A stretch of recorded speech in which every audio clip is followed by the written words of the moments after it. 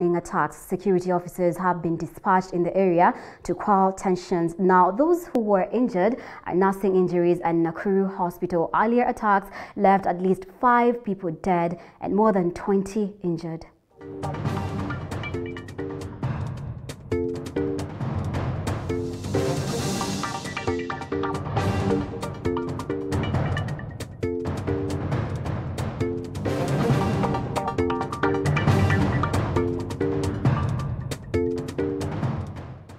A middle-aged man